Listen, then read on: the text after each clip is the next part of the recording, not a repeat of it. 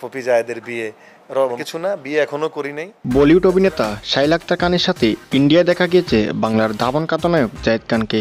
হঠাৎ ইন্ডিয়ায় কেন জায়েদ খান? কান পাতলে শোনা যাচ্ছে এই একটাই প্রশ্ন। যদিও জায়েদ খান ইন্ডিয়া যাওয়ার কারণটা একদম পানির মতো পরিষ্কার ভক্তদের কাছে। চিত্রনায়িকা পপির সাথে দেখা করতে প্রতিবেশী দেশ ইন্ডিয়াতে পাড়ি দিয়েছেন জায়েদ খান। ইন্ডিয়ার একটি হসপিটালে পুত্র সন্তানের জন্ম দিয়েছে চিত্রনায়িকা পপি। সেটা তো সবারই জানা। সেই সন্তানের পিতার নামের সাথে জায়েদ খানের নামটা খুব জোরালোভাবে শোনা যাচ্ছিল এতদিন।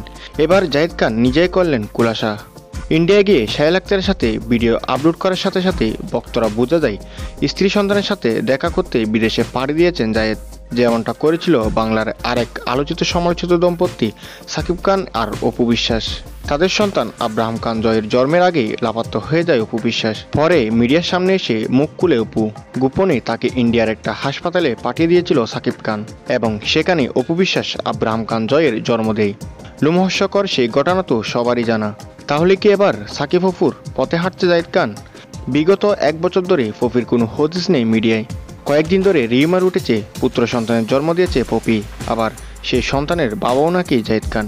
এতদিন কোনো প্রমাণ না মিললেও এবার জায়েদ খানকে ইন্ডিয়ার মাটিতে দেখে সব পরিষ্কার হলো। বোঝা যাচ্ছে সত্যি সত্যি সাকিব অপুর পথে হাঁটছে জায়েদ খান পপি দেখা যাক সামনে কি হয়, তবে বিষয়টি নিয়ে এই অভিনেত্রীর পক্ষ বা তার পরিবারের পক্ষ থেকে কিছুই জানানো হয়নি।